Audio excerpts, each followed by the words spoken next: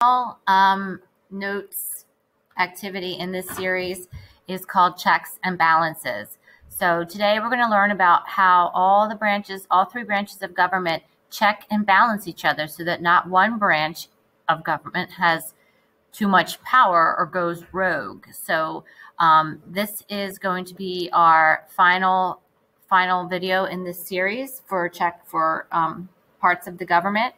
So checks and balances is the system that allows each branch of government to limit the powers of the other branches. You're going to fill in the arrows below as I go over them with you. So as you can see, we have the legislative branch on the bottom, the left, judicial branch on the bottom right, and the executive branch on the top. So the hour, our arrows pointing show how, for example, the top arrow here shows how the legislative branch checks the executive branch. And the way that the legislative branch can check legislative branch is if it overrides, it can override a veto.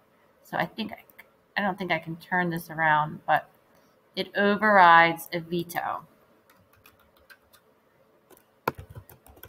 Whoops.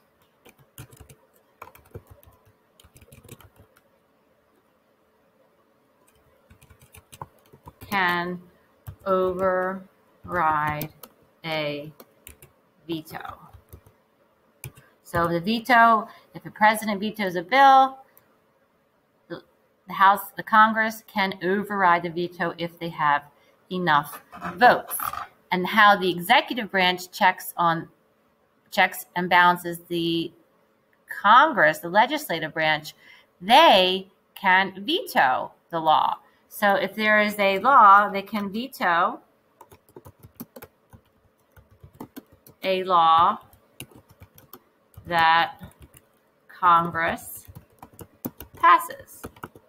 So that's how the House and the executive branch check and balance each other. Now let's look at the judicial branch and the executive branch. How does the executive branch check the judicial branch? Well, very simply, the executive branch can nominate Supreme Court justices. So the president puts in place in the Supreme Court people who he thinks will vote the way he believes. And that's how the executive branch checks the judicial branch. So, how does the judicial branch check the executive branch? Well, the judicial branch can, in effect, can declare treaties unconstitutional. Oops.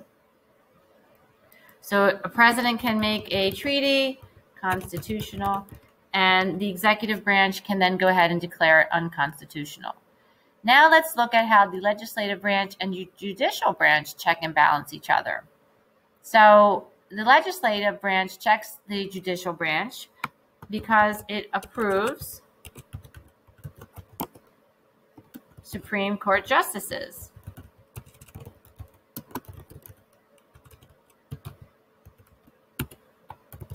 So when the president nominates or appoints a Supreme Court justice, the legislative branch has to actually vote and approve it.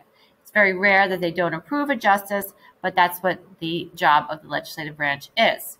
And how does the judicial branch check the legislative branch? Well, they can decide because they know um, they can decide whether a law is unconstitutional or not. So they can they, they declare laws are unconstitutional. So they can say, here, I'll move that so you can see it. They declare laws that are unconstitutional. So legislative branch can make a law, but then the judicial branch can ultimately declare it unconstitutional and the law goes away. So what are some of the benefits and drawbacks of having the system of checks and balances? So the first benefit, so the first benefit is it prevents a branch from becoming, whoops,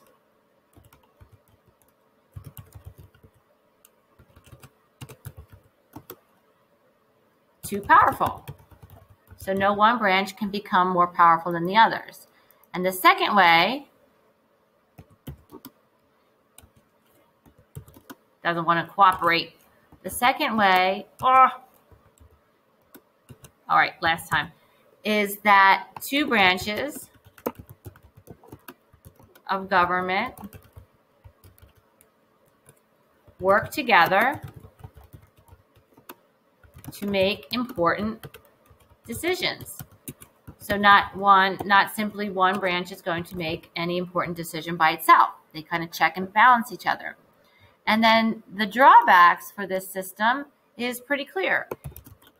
It becomes very time consuming.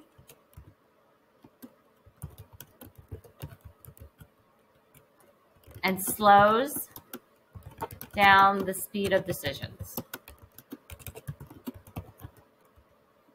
So it does make things work a little bit more slowly. So that is basically the way the house, the checks and balances and how each branch of government checks and balances each other. So remember, you can stop, pause, rewind, and rewatch the video in order to make sure you have all the notes. And don't forget to submit your notes through Canvas for credit. And that's it for today. Thanks, guys.